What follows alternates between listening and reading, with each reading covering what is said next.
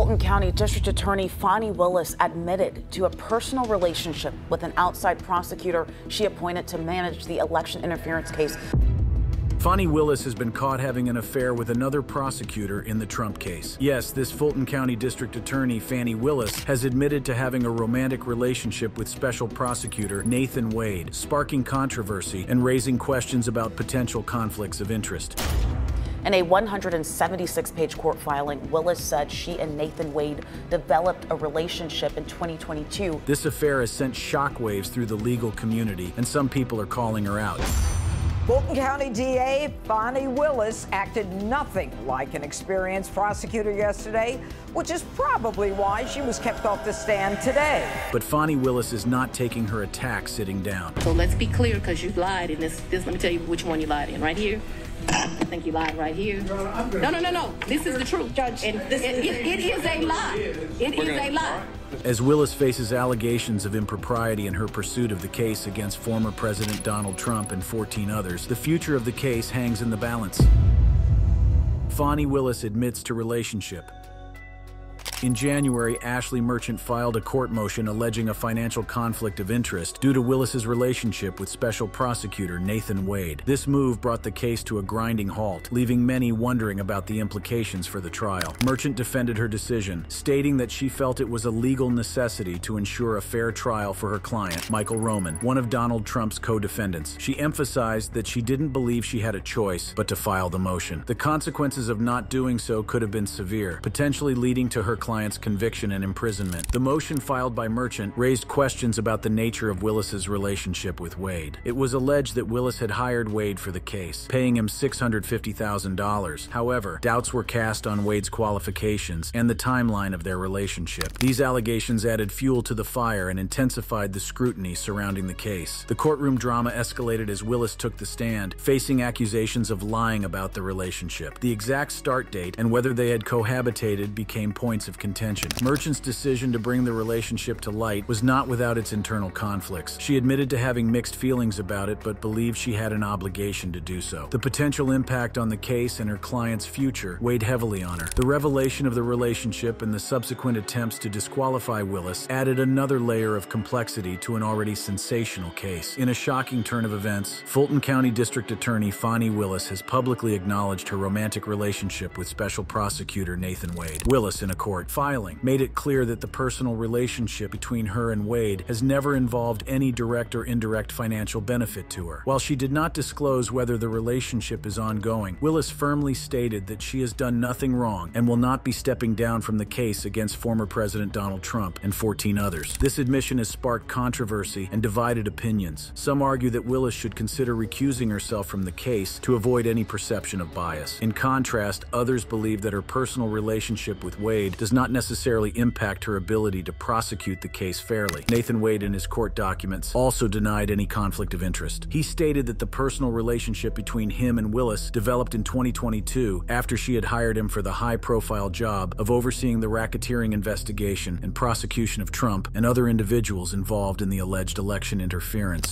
You recall paying for a cabin six months ago, $1,400.81 in Tennessee. Where, where, where, where are we now?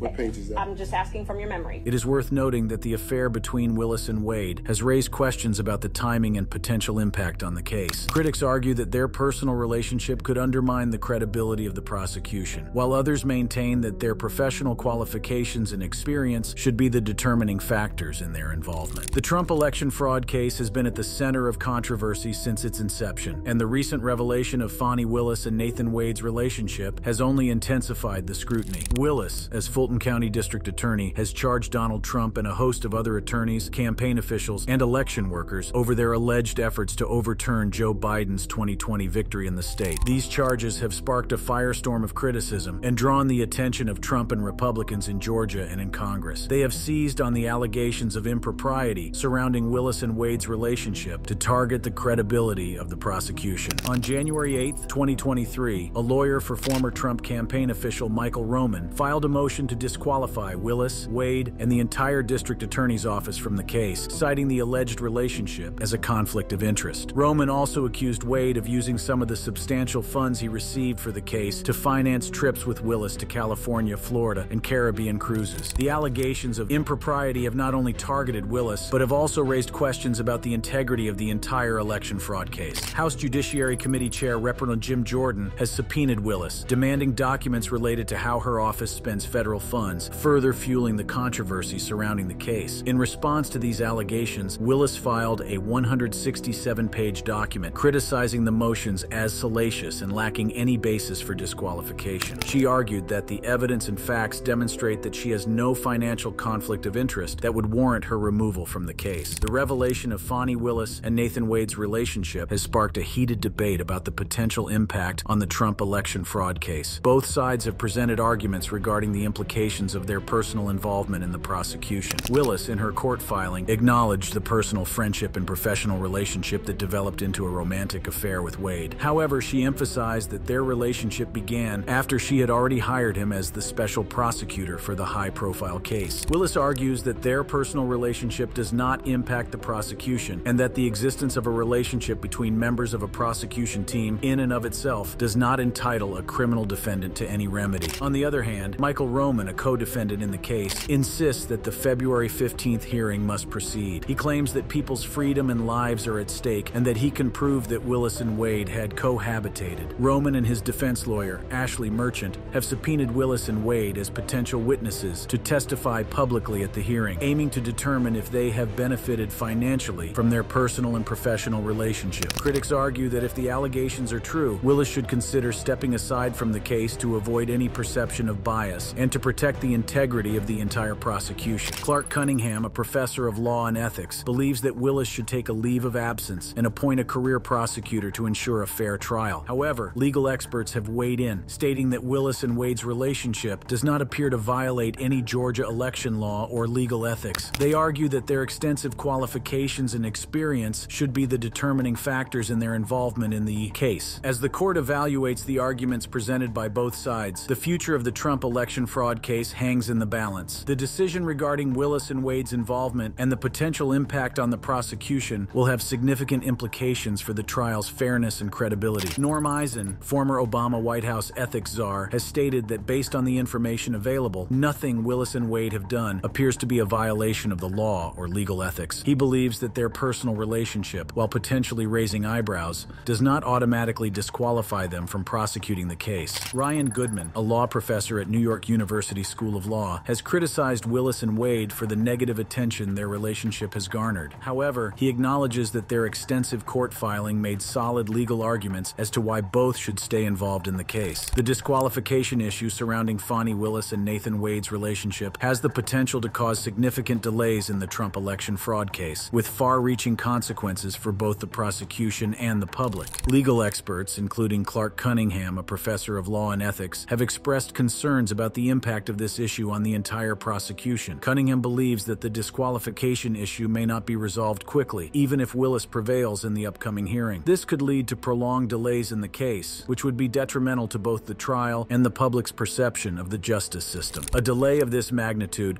would not only prolong the legal proceedings, but also create uncertainty and frustration among the defendants, the public, and the legal community. It could also provide an opportunity for the defense to challenge the credibility of the prosecution and potentially weaken the case against Donald Trump and the other individuals involved. Furthermore, the longer the case is delayed, the more it risks fading from public attention and losing its impact. The urgency and significance of the alleged election fraud may diminish over time, potentially affecting the public's perception of the case and its outcome. As the scandal surrounding Fani Willis and Nathan Wade's relationship continues to unfold, uncertainty looms over the Trump election fraud case. The upcoming hearing will be a pivotal moment in determining the course of the trial. The court will carefully evaluate the arguments presented by both sides regarding the impact of Willis and Wade's relationship on the case. The outcome of this hearing will have far-reaching implications for the trial's credibility and the public's perception of the justice system. The defense, led by Michael Roman and his defense lawyer Ashley Merchant, is determined to proceed with the hearing, emphasizing the importance of addressing the allegations and ensuring a fair trial. They argue that people's freedom and lives are at stake and that the truth must be uncovered. On the other hand, Willis and Wade may maintain their innocence and their commitment to pursuing justice. They believe their personal relationship does not compromise their ability to carry out their professional duties objectively. However, despite the accusations of an inappropriate romantic involvement that Willis allegedly tried to conceal with special counsel Nathan Wade, Fulton County Superior Court Judge Scott McAfee ruled that she could still continue with the case as long as she dismissed Wade. This decision met resistance from Georgia Republicans, but it is what it is. The Georgia case. Breaking news Donald Trump is asking a judge to throw out the election subversion case against him in Georgia. Now let's delve into the highly controversial and sensational Trump Georgia case that has caused all this drama. This pending criminal case involves Donald J. Trump, the 45th President of the United States, and 18 co defendants who are facing charges related to allegations of election fraud in Georgia. The indictment, handed up by a grand jury in August 2023, includes charges such as violating Georgia's racketeer influenced and corrupt organizations, RICO, statute, solicitation of violation of oath by a public officer, and conspiracy to commit election fraud. To fully understand the Trump Georgia case, it is crucial to explore the timeline of events that led to this unprecedented legal battle. Let's take a closer look at the key moments that have shaped this case. The investigation into the alleged election interference in Georgia was launched in February 2021 by Fulton County District Attorney Fani Willis. This marked the beginning of a thorough examination of the claims surrounding the 2020 U.S. presidential election. After months of investigation, a grand jury handed up the indictment in August 2023. The indictment accuses Donald J. Trump, the 45th President of the United States, and 18 co defendants of engaging in a criminal racketeering enterprise to unlawfully change the outcome of the 2020 U.S. presidential election in Georgia. The indictment includes a range of charges, such as violating Georgia's racketeer influenced and corrupt organizations, RICO statute, solicitation of violation of oath by public officer, and conspiracy to commit election fraud. These charges highlight the gravity of the allegations against Trump and his co defendants. One of the shocking allegations in the case is the claim that Trump and his allies plotted to create fake electors. These fake electors were allegedly intended to manipulate the electoral process and overturn the 2020 election results in Georgia. Another significant aspect of the case revolves around the alleged pressuring of Georgia state officials. It is claimed that Trump and his co defendants used various tactics to pressure these officials in an attempt to change the outcome outcome of the election. The indictment also mentions the illegal access of voting systems. The defendants are accused of engaging in activities that violated the integrity of the electoral process, further fueling the controversy surrounding the case. Four defendants have already pleaded guilty, acknowledging their involvement in the alleged criminal activities. These guilty pleas have shed light on the extent of the wrongdoing and have added weight to the prosecution's case. While some defendants have pleaded guilty, the trial for the remaining defendants who have pleaded not guilty is yet to be scheduled. The anticipation surrounding surrounding this trial is immense, as it will determine the fate of those involved and potentially set a precedent for future cases of election fraud. The Trump Georgia case has far reaching implications for the 2020 U.S. presidential election. It has raised questions about the integrity of the electoral process and the potential impact of election fraud on the democratic system. The outcome of this case will undoubtedly shape the future of elections in the United States. As we can see, the Trump Georgia case is a complex legal battle shaped by a series of key events. From the launch launch of the investigation to the indictment and the subsequent guilty pleas, each step has added to the intrigue and significance of this case. Now that we have explored the timeline of events leading up to the Trump Georgia case, let's dive deeper into the specific allegations and shocking details surrounding the charges. Brace yourself for a closer look at the heart of this sensational legal battle. You're not permitted to destroy documents. You're not permitted to take documents. They don't belong to him. The indictment accuses Donald J. Trump and his co defendants of violating Georgia's racketeer influenced and corrupt organizations, RICO, statute. This charge suggests that they engaged in a criminal enterprise with the intent to unlawfully change the outcome of the 2020 U.S. presidential election in Georgia. Another significant charge in the case is the solicitation of violation of oath by public officer. It is alleged that Trump and his allies sought to persuade public officials to breach their oaths and act in a manner that would benefit their efforts to overturn the election results. The indictment also includes the charge charge of conspiracy to commit election fraud. This allegation suggests that Trump and his co defendants conspired to manipulate the electoral process in Georgia, potentially undermining the integrity of the democratic system. One of the most astonishing allegations in the case is the claim that Trump and his allies plotted to create fake electors. These fake electors, if successful, could have had a profound impact on the outcome of the 2020 election in Georgia, raising serious questions about the legitimacy of the electoral process. The case highlights the alleged efforts by Trump and his co-defendants to pressure Georgia state officials. It is claimed that they used various tactics, including personal appeals and exertion of influence, to coerce these officials into taking actions that would favor their attempts to overturn the election results. The indictment also mentions the harassment of Fulton County election workers. These workers, who played a crucial role in ensuring the integrity of the election process, allegedly faced undue pressure and intimidation from Trump's allies as they carried out their duties. Another shocking detail in the case is the accusation that Trump and his co-defendants illegally accessed voting systems. This alleged act, if proven, would raise serious concerns about the security and sanctity of the electoral process in Georgia. As mentioned earlier, some defendants have already pleaded guilty in the case. These guilty pleas have resulted in sentences that include probation, fines, and public apologies. These outcomes shed light on the extent of the involvement of certain individuals in the alleged criminal activities. The indictment also mentions 30 unindicted co-conspirators who allegedly participated in the same criminal activities. While their identities remain undisclosed, their alleged involvement adds another layer of intrigue to the case. The Trump Georgia case is a legal battle that has captured the attention of the nation. The specific allegations and details surrounding the charges paint a picture of a complex and far-reaching scheme to overturn the 2020 U.S. presidential election results in Georgia. As the trial for the remaining defendants is yet to be scheduled, the world waits in anticipation to see how justice will be served and what impact the outcome will have on the future of elections in the United States. Following the indictment, one of the co-defendants, Mark Meadows, former chief of staff to Donald Trump, filed a motion to dismiss the charges against him. However, the court denied the motion, signaling that the case would proceed as planned. Undeterred, Meadows appealed the denial of his motion to dismiss the charges. He sought a full court hearing to present his arguments. However, the appeal was ultimately denied, ensuring that the case would continue in the scheduled manner. According to the available information, some defendants have pleaded guilty in the case, while others have chosen to cooperate with prosecutors. Sidney Powell, a prominent figure in Trump's legal team, is among those who have pleaded guilty and agreed to cooperate. This development has added a new layer of complexity to the proceedings. Another significant development came with the guilty plea of Kenneth Chesebro, a Trump ally. Chesebro's plea further solidified the prosecution's case and provided valuable insights into the alleged criminal activities. The trial dates for the remaining defendants was set for October 23, 2023, according to the available information.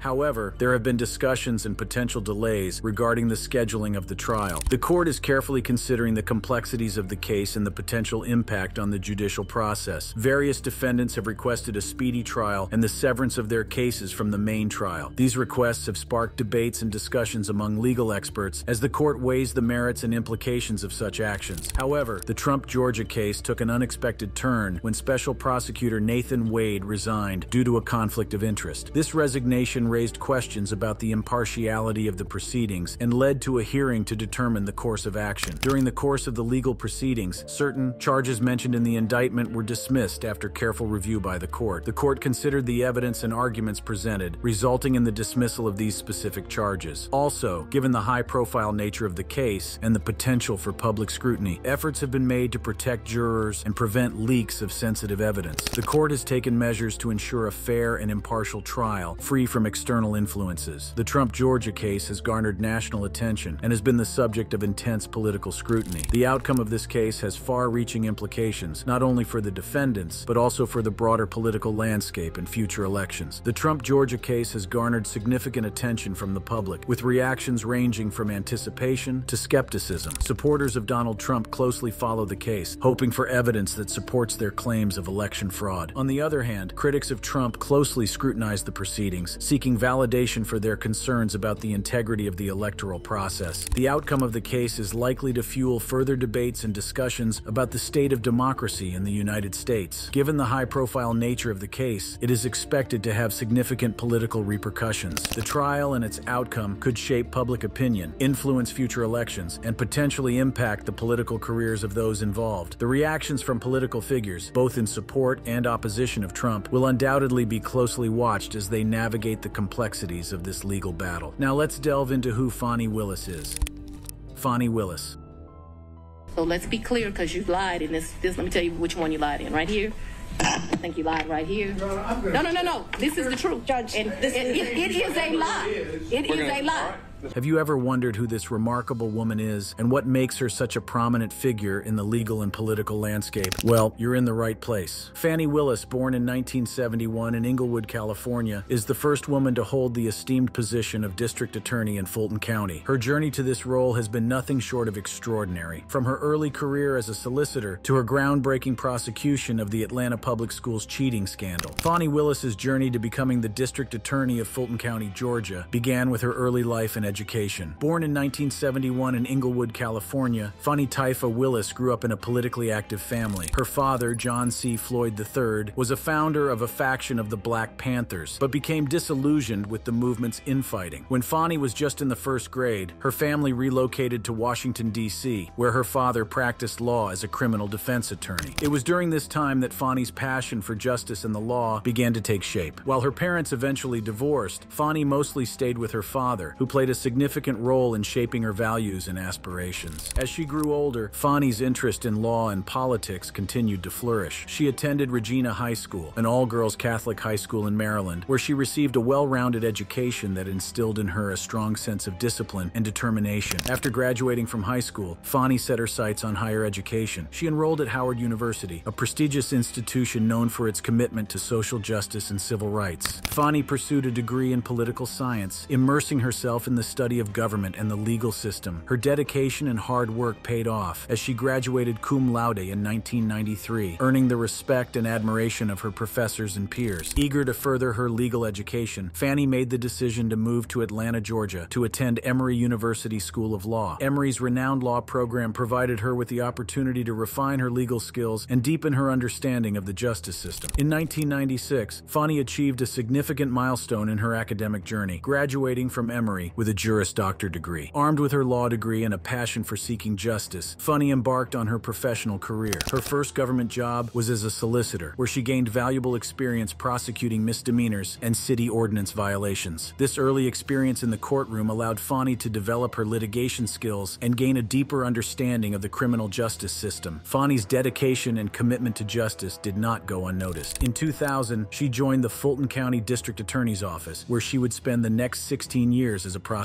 During her time in the District Attorney's Office, Fani handled a wide range of cases, honing her skills as a prosecutor and earning a reputation for her tenacity and commitment to justice. One of Fani's most notable cases came in the form of the Atlanta Public Schools cheating scandal. As an assistant district attorney at the time, Fani was appointed as the lead prosecutor in the high-profile trial of 12 educators accused of racketeering. These educators were alleged to have corrected answers entered by students to inflate the scores of state-administered standardized tests. Fani's meticulous preparation and compelling arguments led to the conviction of 11 out of the 12 defendants under Georgia's RICO statute in April 2015. This landmark case showcased Fani's ability to navigate complex legal matters and seek justice for the community she served. In 2018, Fani decided to venture into private practice, expanding her legal expertise beyond the confines of the district attorney's office. However, her passion for public service and her commitment to upholding the law led her back to the public sector. In 2019, Fani became the chief municipal judge for South Fulton, Georgia, where she continued to make a positive impact on the community. Little did Fani know that her career was about to take a monumental turn.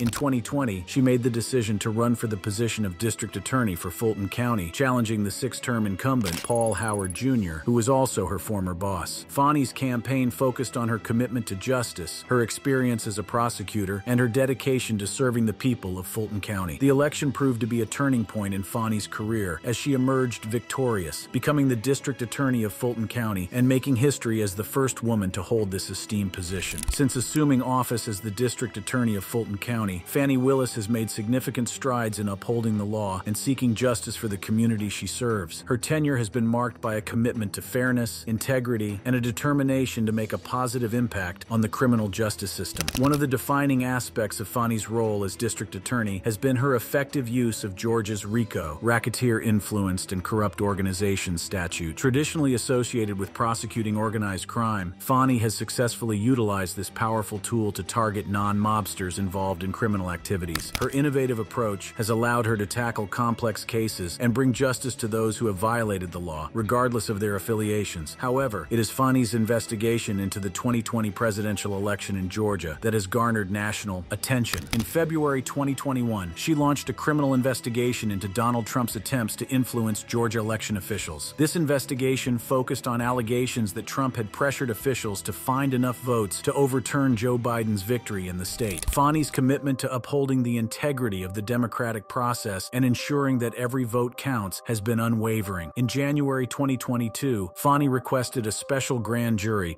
to consider charges of election interference by Trump and his allies. This grand jury was given investigative authority and subpoena power, allowing them to delve deep into the allegations and gather evidence. The grand jury, consisting of 26 members, heard from numerous witnesses, including former U.S. Senator Kelly Loeffler and former White House counsel Pat Cipollone. Their thorough investigation culminated in a report that was released in parts on February 16, 2023, following a judge's order. The findings of the grand jury were staggering. Fani's office indicted Donald Trump and 18 alleged co-conspirators on 41 charges, including 13 charges against Trump himself. These charges range from racketeering to other crimes related to the alleged election interference. The indictment sent shockwaves throughout the nation as it marked the first time a former president faced such serious legal consequences for his actions. However, the legal battle was far from over. In 2024, Judge Scott McAfee quashed six charges, including three against Trump, while giving prosecutors the option to refile these charges. This development added another layer of complexity to the case, leaving the outcome uncertain. Nevertheless, Fani remained resolute in her pursuit of justice, determined to hold those responsible accountable for their actions. While Fani's investigation into the 2020 election has garnered significant attention, it is important to note that her role as district attorney extends beyond this high-profile case. Her office continues to handle a wide range of criminal cases, ensuring justice is served for the people of Fulton County. Fani's commitment to fairness and her dedication to upholding the law have earned her the respect and admiration of her colleagues and the community she serves. However, Fani's tenure has not been without its challenges.